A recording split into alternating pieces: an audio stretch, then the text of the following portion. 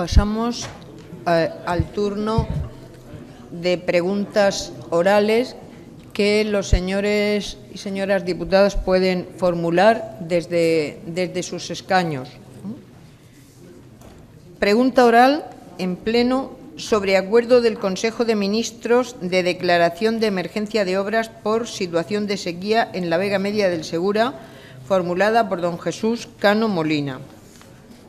Tiene la palabra el señor Cano Molina. No, señora presidenta, si no le importa, De acuerdo. en realidad voy a hacer la pregunta yo. Sí, sí, señor. Tiene la palabra el señor Guillamón. Pues muchas gracias, eh, señora presidenta. Mis respetos al presidente del Gobierno y, al- y a los miembros del Consejo de Gobierno. Vamos a ver, es indudable que eh, personalmente y, y, por supuesto, mi grupo entiende que la hidráulica, la técnica hidráulica, es probablemente una de las armas más importantes con que la ordenación del territorio puede contar. La ordenación del territorio para la agricultura, para el urbanismo y, sobre todo, para la economía.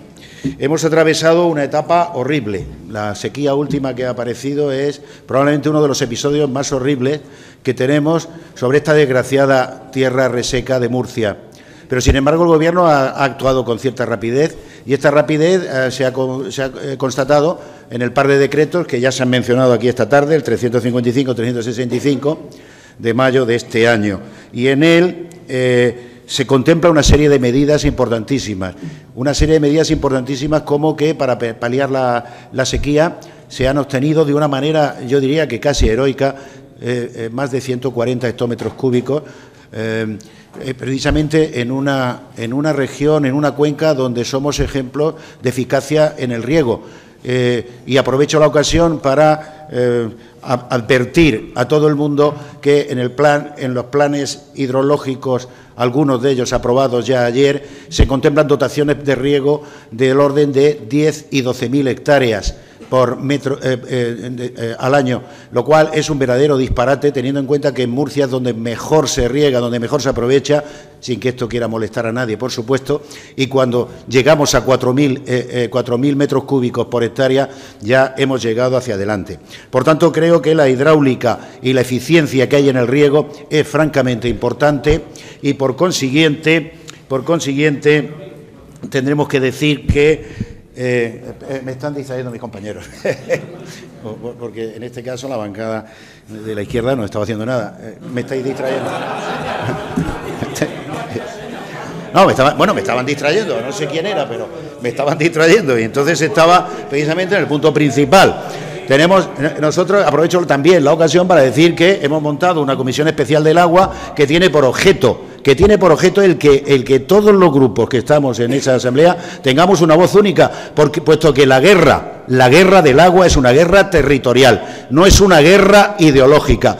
Y nosotros tenemos que sacar en la conclusión que desde el año 1979, cuando el delegado del gobierno neófito llegó a la Confederación Hidrográfica del Segura, se encontró un papel, se encontró un, tocho que decía avance del plan hidrológico de Cuenca, en donde ya se decía exactamente que faltaban 400 hectómetros cúbicos. Por consiguiente, y, tras, este, mm, esta exposición, quizá un poco desajustada, desordenada, pero siempre muy, muy, muy sentida, le, preguntamos a, a- nuestra querida consejera de Agricultura qué valoración hace, naturalmente, del Consejo de Ministros, del acuerdo del Consejo de Ministros, por el que se toma razón de la declaración de emergencia de las obras destinadas a mejorar la gestión de los recursos disponibles en la situación de sequía, de sequía declarada en la demarcación hidrográfica del Segura mediante reducción de pérdidas, que ya es un milagro todavía, en el sistema de distribución de la Vega Media del Segura. Muchas gracias.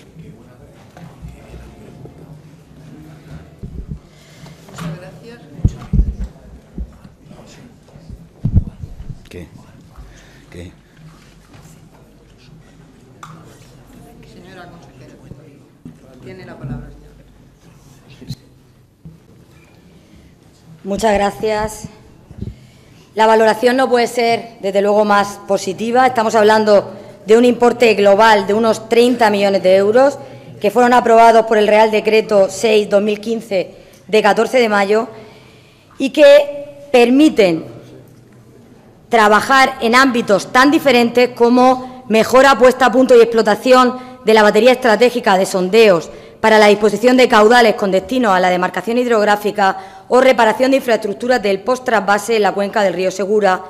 Por supuesto, la ejecución de la tubería principal de conducción de agua al Valle del Guadalentín, control y medición de la subsidencia asociada a la explotación de la batería estratégica de sondeos en el acuífero de la Vega Media, estudio para el régimen de explotación, control de extracciones y seguimiento piezométrico de los pozos de la batería de sondeos de la Vega Media o acondicionamiento de la batería de pozos en el sinclinal de Calasparra y centro de seccionamiento y medida en el mismo municipio. Es decir, 30 millones de euros de obras, todas ellas encaminadas a o bien poner en marcha los pozos que permite el decreto de sequía o bien seguir mejorando en el uso eficiente que en esta región se hace del agua y que ayer en el Consejo Nacional del Agua daba datos tan sorprendentes como que el uso de recursos no convencionales en la cuenca del Segura es del 17%, cosa absolutamente impensable en otras cuencas hidrográficas. Muchas gracias. Muchas gracias, señora consejera. Pasamos a la pregunta oral en pleno sobre estado en que se encuentra el trasvase de un hectómetro cúbico desde el Negratín Almanzora hasta la comunidad de